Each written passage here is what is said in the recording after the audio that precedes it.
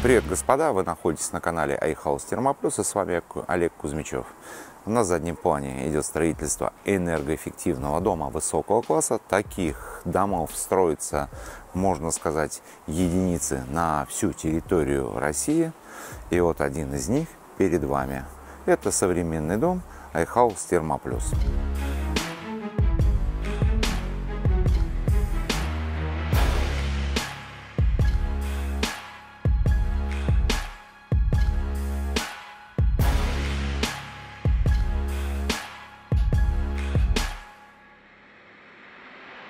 В последнее время в нашем телеграм-канале, подписывайтесь на наш телеграм-канал, задают очень часто вопросы. Нужно ли штукатурить монолитные дома? Я не знаю, что у вас представляет монолитный дом, потому что монолитный дом бывает холодный, сырой, но современные энергоэффективные дома высокого класса iHouse Thermoplus штукатурить обязательно. Ну, первое, это геометрия стен, потому что наши заказчики любят идеально ровные поверхности. У вас никогда не получится отлить идеально ровные поверхности. Итак, для чего нужна штукатурка гипсовая, во-первых, в этом доме?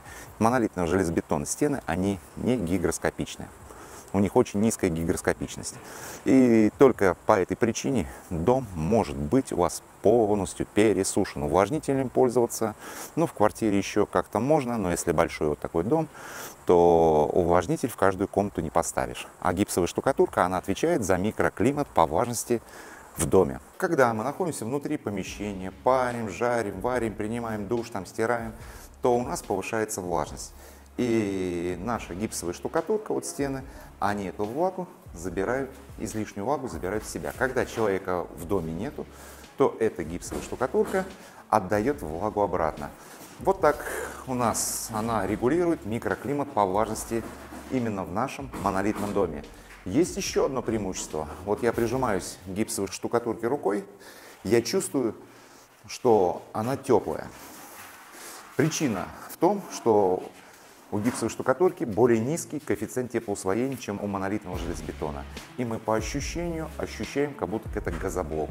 И если даже заштукатурить весь дом, ваши гости, если не знают, что он монолитный, они даже не могут отличить, из какого материала этот дом будет построен.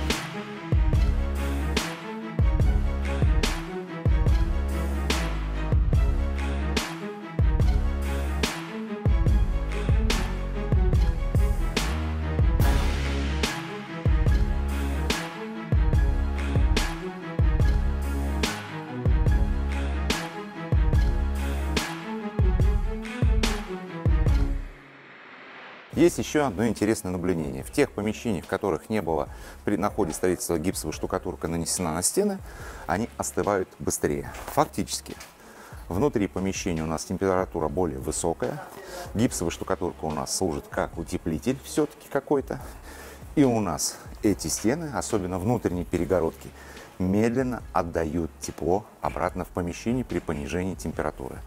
И у нас в этом плане получается снаружи дом утепленный, и он получается еще и внутри утепленный. Так как перепад температур там минимальный, теплопотери или расход тепловой энергии из наших стен, он тоже минимальный. Фактически получается у нас дом термос, снаружи у нас теплоизоляция, внутри аккумулятор тепла, но этот аккумулятор тепла еще упакован в какой-то слой небольшой теплоизоляции. И получается у нас дом термос там в термосе. Если хорошо изучить все свойства материала, и их правильно соединить, а также еще изучить хорошенько теплофизику, то мы получим уникальный дом современный iHouse Thermoplus. Это на самом деле умная конструкция дома. У нас гипсовая штукатурка отвечает за микроклимат по влажности. Сама конструкция дома у нас работает как аккумуляторная батарейка в электромобилях. То есть в летнее время она заряжается естественным путем. У нас летом жарко от вентиляции, от открытых окон, то есть постепенно нагреваясь. И когда приходит отопительный сезон, она начинает нам это тепло накопленное отдавать обратно. Господа, у нас здесь еще не достроен дом, но мы начинаем штукатурить. Я вам даже сейчас вот вкратце покажу. И в следующем выпуске я объясню преимущества, если мы делаем штукатурку именно до того момента, как мы сделали утепление и вставили окна. Итак, господа, у нас здесь еще собирается опалубка для плит перекрытия, недозалита 50 миллиметров стен. Это у нас такая текстура после OSB фанеры. Это мечта штукатура. В следующем выпуске я вам расскажу, вернее покажу, как у нас, какая у нас адгезия штукатурок. А сейчас я вам покажу, что там уже на первом этаже производятся штукатурные работы. Это самый лучший вариант. Производить работы вот так параллельно. Даже если вы не вставите окна на зиму, ничего страшного не будет. Вот у нас здесь маяки, видно, уже установлены. Вот у нас даже стены уже заштукатурены гипсовой штукатуркой. Здесь у нас гипсом заштукатурены и цементно-песчаный. Цементно-песчаная штукатурка здесь заштукатурена только для того, что здесь будет эта рабочая зона кухни, здесь плитка, фартук, вот все это должно адгезия быть очень хорошая, и гипса здесь не должно быть. Вот наш мастер, гуру.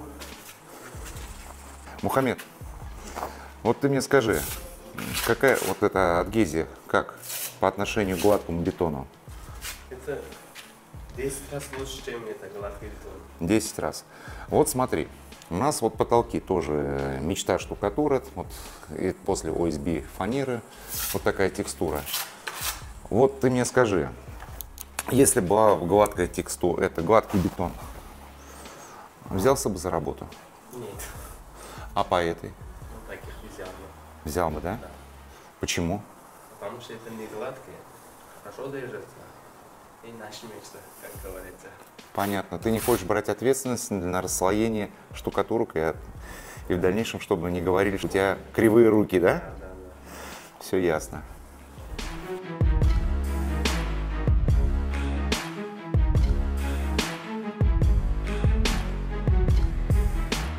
Вот у нас отопалки были, это стежи.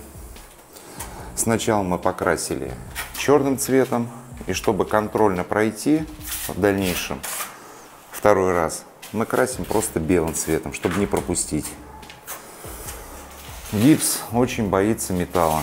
Если этот металл не закрасить, то тогда у вас появится ржавчина, ржавые пятна.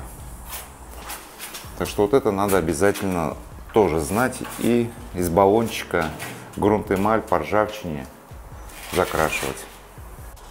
Для тех, кто ценит свое время, кто любит качество, кто любит комфорт, кто не хочет говорить, что кривые руки у тех, кто строил ему дом, обращайтесь к нам. Вот мой номер телефона, вот наш сайт. И мы вам построим энергоэффективный современный дом iHouse Термоплюс. А если вы зайдете в плейлист на нашем канале «Инженерные коммуникации», то вы еще и увидите, что мы в эти стены из монолитного железобетона вкладываем все инженерные коммуникации. Фактически мы закладываем проект по вентиляции, закладываем проект по электрике, закладываем проект будущий уже для отопления. Вам что? Ни о чем думать не надо. И не сидеть напрасно годами изучать YouTube. Лучше в это время пойти и заработать денег. Всем пока. С вами был Олег Кузьмичев. До новых встреч.